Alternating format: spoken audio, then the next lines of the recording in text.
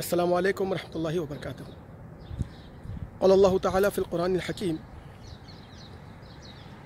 या अय्युहल्लज़ीना आमनू कुनू मअस सादिक़ीन बाद क़ल अल्लाह तआला फ़िल क़ुरानिल हकीम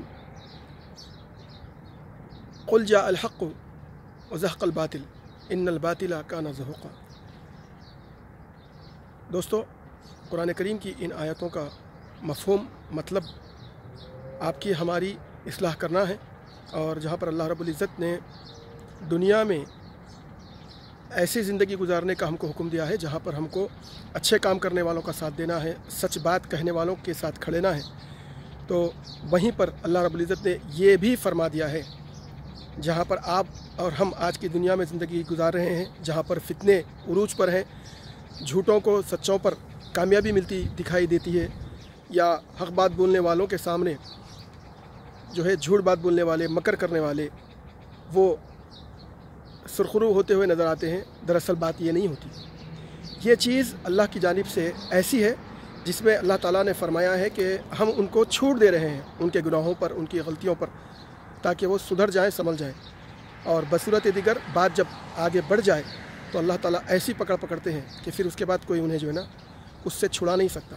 जिसके बारे में आप सल्लल्लाहु अलैहि वसल्लम ने फरमाया कि इन अल्लाह युमहिल वला युमहिल साथियों, मैं अब आज जो बात करने जा रहा हूँ, वो बात का मौजू हैदराबाद के मुख्तलिफ़ हकोई करने वाले, लोगों की मदद करने वाले और एक बड़े पैमाने पर जो मुनज़म प्लानिंग के साथ सियासतदानों के अलग अलग जुल्म हो रहे हैं या दिगर लोगों के जो अलग अलग तरह से जुल्म हो रहे हैं, उसके ख़िलाफ़ आवाज़ उठाने वाले और उनके ख़िलाफ़ लोगों के लिए, मदद के लिए आगे आने वालों की बात है वो।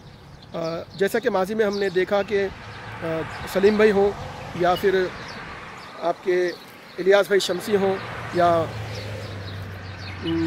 फ़िरोज़ ख़ान हों, और भी बहुत सारे लोग हैं। ताहिर भाई हों, अफारी या मुझे एक और नाम जो मैं भूल रहा हूँ, मुश्ताक भाई मलिक हैं या और भी बहुत सारे ऐसे लोग हैं जो आवाम के फ़लाह बहबूद के लिए काम करते रहते हैं। तो उनमें एच वाई सी के भी नौजवान थे, अयूब और सलमान, जिनके साथ क्या हुआ है, आप लोगों ने देखा है। वहीं पर एक और इसमें एक कड़ी जुड़ी है, वो मुजाहिद मुहिद्दीन खुजरी की। ये एक मर्द मुजाहिद, जो कोरोना में जिसने बहुत सारे लोगों की दवाइयों के दिलाने में बहुत अच्छी तरह से मदद की और लोगों के तकालीफ़ में, उनकी तकालीफ़ को हल करने में हर तरह से कोशिश की। ये नहीं देखा कि कौन हिंदू है, कौन मुसलमान है। और इनके इस काम की सताइश, हिम्मत अफजाई और इसकी तारीफ़ मैं नहीं कर रहा, बल्कि मुख्तलिफ़ ऑर्गेनाइजेशंस ने की है। जैसा कि बारकस के मुख्तलिफ़ इदारे हैं, कई खैराती इदारों ने भी की है। बस्ती के हमारी बारकस के भी इदारों में सलाला वेलफेयर एसोसिएशन या सलाला यूथ एसोसिएशन या ऐसे दो तीन नाम हैं, जिन्होंने इनसे मदद भी ली है और उन्होंने तारीफ़ें भी की हैं। कई गैर मुस्लिम लेडीज़ के हमने बातें बयान सुने हैं कि इन्होंने कितने महँगे महँगे इंजेक्शन को जो है ना, आसानी से सस्ते में दिलाया है। ऐसी बहुत सारी मदद करवाई है इन्होंने और वो करते आ रहे हैं। और इसी साथ, इसके साथ ही इन्होंने एक और काम किया था।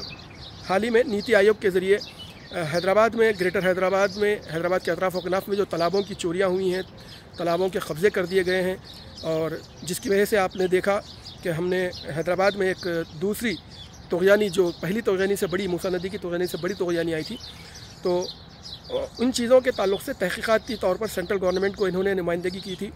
और तहकीक़ात उस सिलसिले में जो है ना शुरू हुई हैं।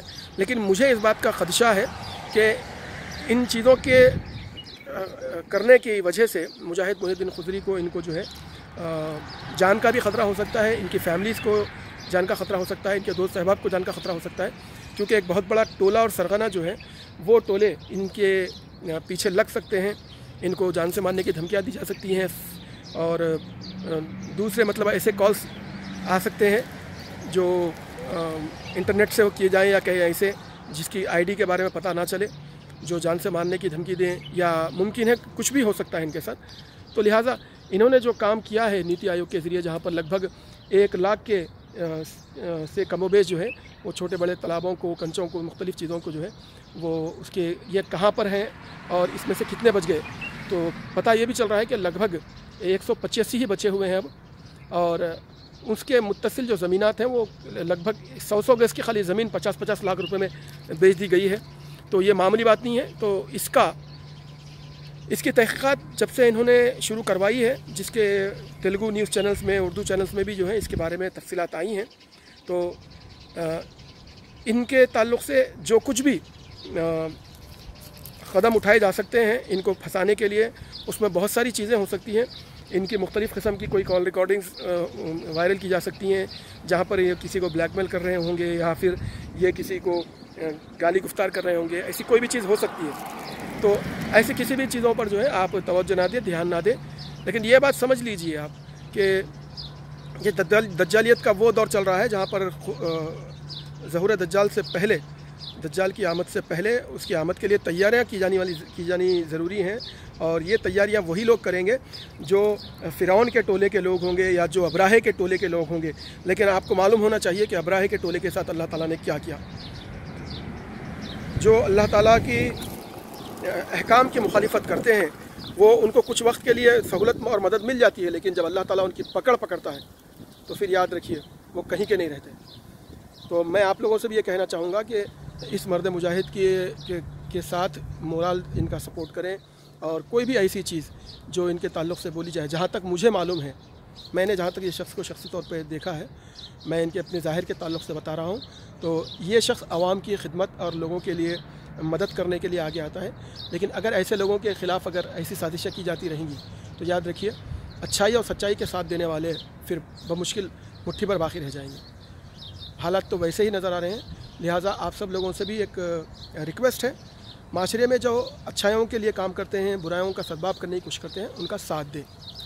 और इसी के साथ मैं फिर एक मरतबा उनको, मुजाहिद भाई को भी ये बोलूँगा कि यार आप अल्लाह ताला हर उस इंसान के साथ है जो हक़ के लिए काम करता है, हक़ की आवाज़ बनना चाहता है। और मुख्तलिफ़ किस्म के इम्तहान, आजमाइशें, मुख्तलिफ़ चीज़ें तो आती हैं, लेकिन फिर भी मेरी आपसे एक अदमन गुजारिश है कि जो काम आपसे बन पड़ सकता है, करें और बाकी की चीज़ें जो हमारे बस में नहीं हो रही हैं, वो अल्लाह पे छोड़ें, क्योंकि रब कायनात भी है, जो आपकी हमारी दुआ को सुनने वाला है। रब का